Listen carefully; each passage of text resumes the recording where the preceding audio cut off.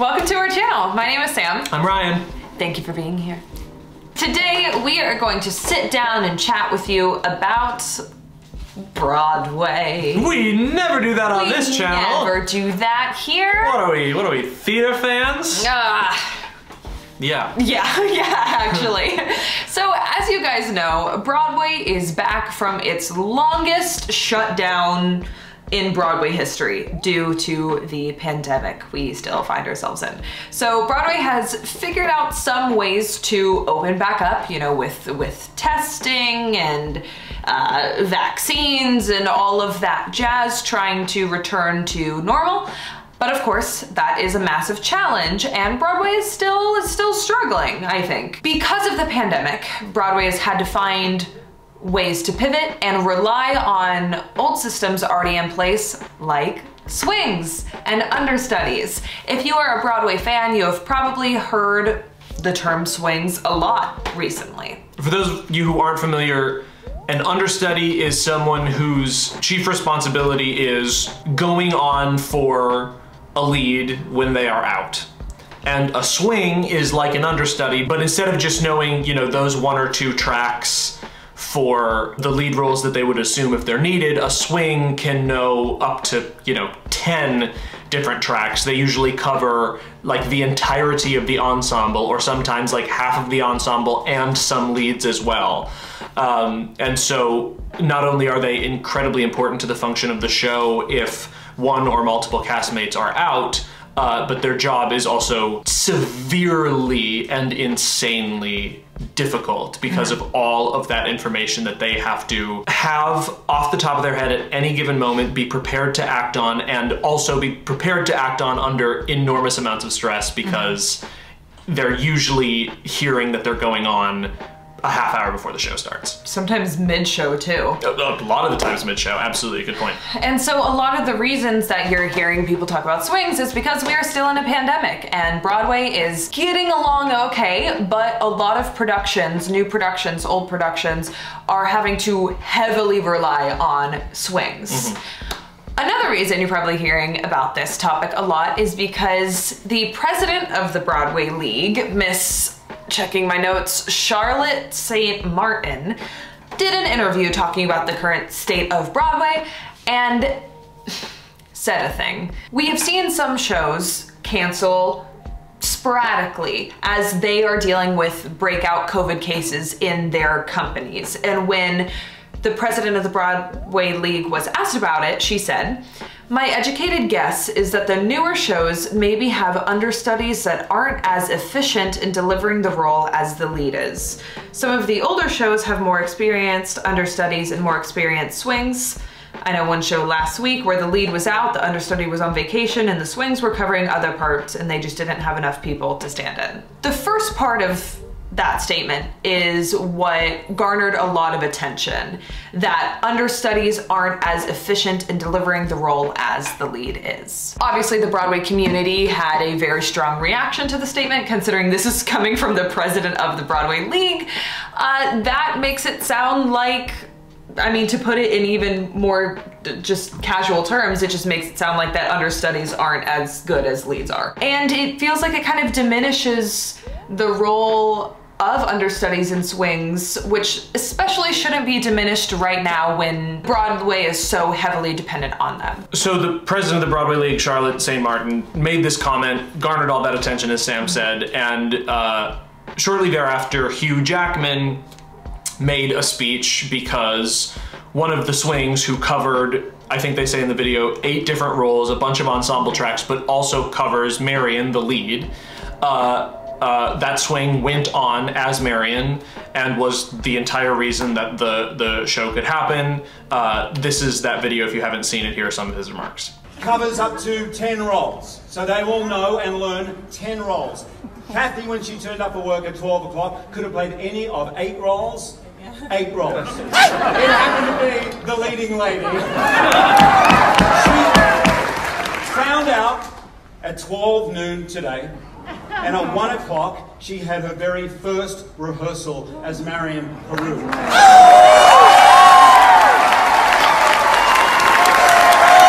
after Hugh Jackman made that statement, uh, a lot of shows and companies, Disney on Broadway, Wicked, a bunch of other ones, released statements, you know, talking about like, we appreciate our swings, we appreciate our understudies. Like, these people are the reason that Broadway is even possible right now, which is all completely true and absolutely, I think, the right sort of stance to take. For me, I think the purpose of this video is, uh, well, it's a couple things. Like, first and foremost, just so that no one is like confused about our position, like, this respect and attention that swings and understudies who are arguably some of the hardest working people in theater this attention and respect that they're getting is absolutely right, absolutely necessary, and like so deserved.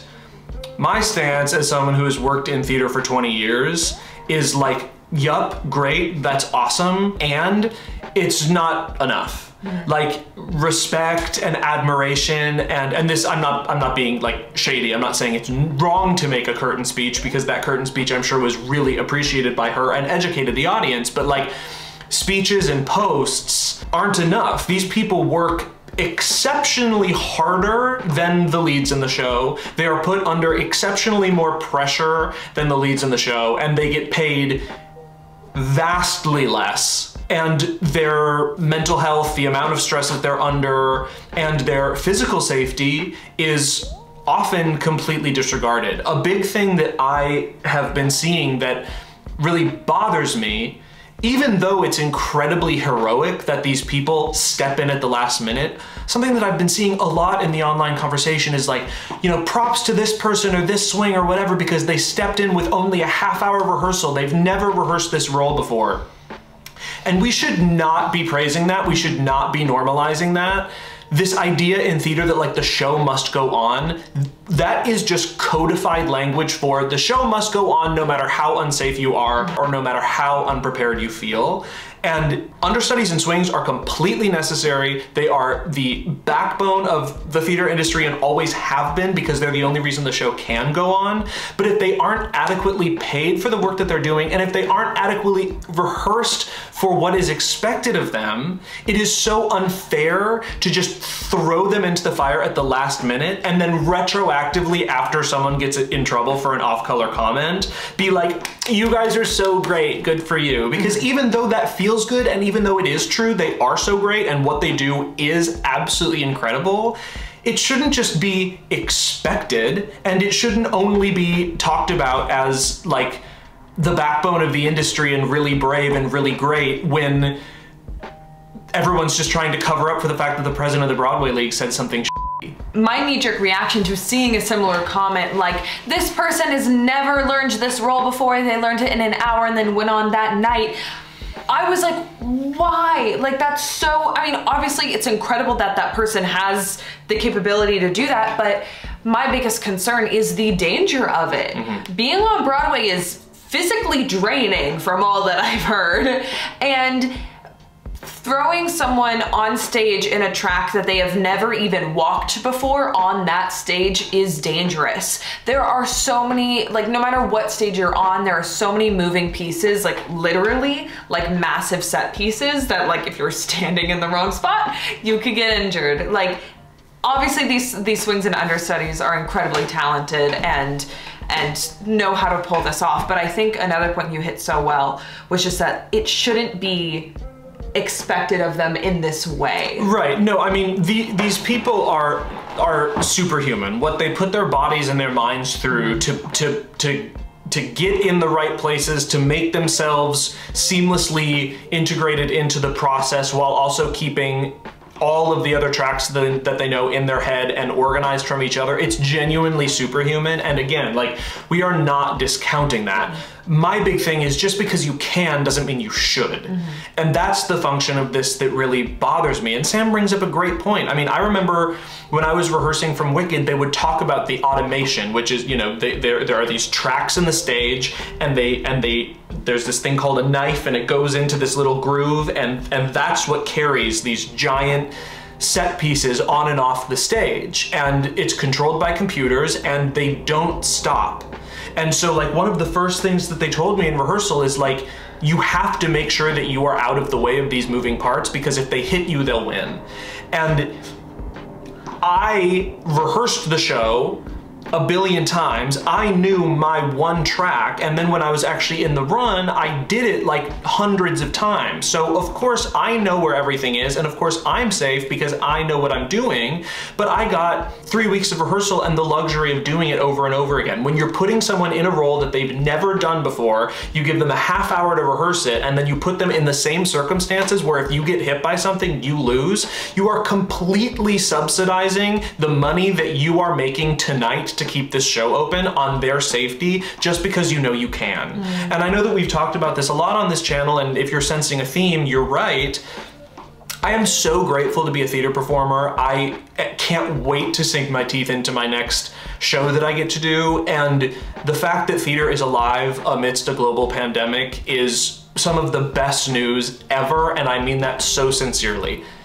And just because something's great doesn't mean it can't be improved. And just because all of these people are really smart and really talented doesn't mean that they should be taken advantage of. And what it all comes down to is people at the top saying, just make it work because I want my money. And I'm sorry, but there are so many examples in other places about how this works better. If you're like a sports team, for example, you have second string, third string, fourth string, you have a backup plan for your backup plan's backup plan. Mm-hmm. And those people train. They they are practicing too. They know the drills, they know the book. It's not like the third string quarterback just goes on having never thrown the football to these receivers. That's that's not how it works. So why should it be any different in theater? And although all of the praise is like totally right on the money and so well deserved, you can see why, as an industry professional, I kind of feel like it's lip service mm. because at the end of the day, these people still aren't getting compensated fairly get treated like crap in rehearsal because they are expected to be perfect, but they're given no tools or opportunities to actually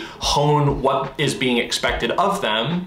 And their mental health and physical well-being are completely disregarded for the concept of the show must go on. And if you as the producer want the show to always be able to go on, then you should probably invest resources in making sure that the people who are solely responsible for making the show go on can do it safely and effectively. And again, we are not trying to say that we think that all of the appreciation for swings and understudies should stop.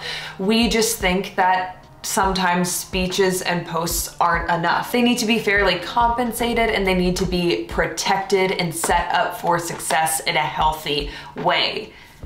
They are superheroes. I can't even comprehend how they do it. Yeah, no, I can't either. And I think I think what you just said is so right because it it, it articulates I think what the crux of the problem is. Like, right, I, no, like these speeches and these posts, they shouldn't stop. They should keep happening. They should happen all of the time, like even after the pandemic is over, because these people deserve praise for what they're doing. But it's all retroactive. Yeah. It's all after the work is already done. It's after everyone can finally exhale because somehow we got through the show, which is something that I have said on Broadway, off Broadway, regionally, so many times like, oh my God, I can't believe we got through that. That should not be the attitude of a show. Yes. So processing that retroactively, oh, good job, retroactively, that's great and everything, but it's way cuter if we are doing these things proactively, making these people feel respected, admired, and safe before they even set foot on the stage so that when they do set foot on the stage, we don't all have to be like, ooh, what's gonna happen? No one knows mm-hmm. because I can tell you as a professional, like